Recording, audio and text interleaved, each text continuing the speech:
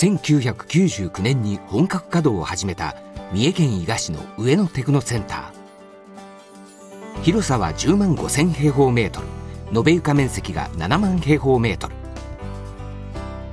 世界でも有数のアイケア生産ラインを持つロート製薬の生産拠点です。目薬をはじめとした無菌製剤やスキンケア製品など多くの商品を生産しています。特にあの無菌製剤っていうのがあの管理、えー、空気の管理ですとか水の管理それがまあ非常にまあハイレベルな技術を求められるので、まあ、そこが一番気を使うところですよね。ですからあの工程的にはできるだけまあ人が介在しないようなまあ工程作りをしています。一番まあ汚れてるというか汚染されてるのが人なのでとにかく生産現場に人をなるべく入れないというそういう工夫をしてますね。でもともとあの上野工場っていうのがあのコンセプトが進化する工場っていうことで機械だけじゃなくて人間的にもというか、まあ、人のパワーというかそういう面でも、まあ、進化をまあしていってるというところで、えー、っと私たちも2005年ぐらいからあの大々的なというか本格的な改善活動ですねを始めたんですけれども、まあ、その度にやっぱり工場が進化するというふうな、まあ、考え方も進化しますし、えーまあ、工場自体が進化するっていうふうなのをまあ感じてますね。上野テクノセンターは GMP の適合工場です GMP とはGood Manufacturing Practice の略で安心して使うことができる品質の良い医薬品医療用具などを供給するための製造管理品質管理基準で世界中で採用されている基準です。世界水準の品質を実現する製品を効率よく生産。自動化率を高めながらも多品種の生産にも対応しています。やはりあの目薬にかかわらず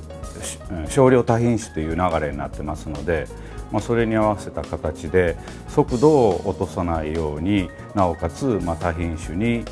対応できるようにというふうなま工夫はしてきたつもりですね。生産においてもですね医薬品を作る、ま、高レベルというかハイハイレベルな環境あるいは手順でもって、ま、化粧品も作って、ま、それだけしっかりした品質管理的にもしっかりしたものをお客さんに届けて喜んでいただくという意味で、えー、医薬品と全く同じ環境手順で、まあ、生産化粧品も生産しております。目薬の生産に関しては上野工場は世界のロートグループのマザー工場として機能しています。上野工場で育てたハード面ソフト面の技術を海外の子会社関連会社に移植。中国やベトナムの目薬生産基地の技術を支えています。お客様に喜んでいただける商品の開発には企画部門との連携が不可欠です。上野テクノセンターでは企画部門の思いを実現しお客様に喜びっくりな商品をお届けするために不可能を可能にする努力を惜しみません。普通の会社だといやそれはちょっと技術的に難しいとかいうふうな形で、まあ、ちょっとと言われるのが、まあ、多いみたいなんですけれども、まあ、確かに、上野工場のメンバーっていうのは若いせいもあるのかもしれないですけどとにかく前向きででできないっていうことは言いたがらないんです。あのまあ、絶対に何とかするっていう人が多くてですね、まあ、そういう面のすごく、まあ、楽しい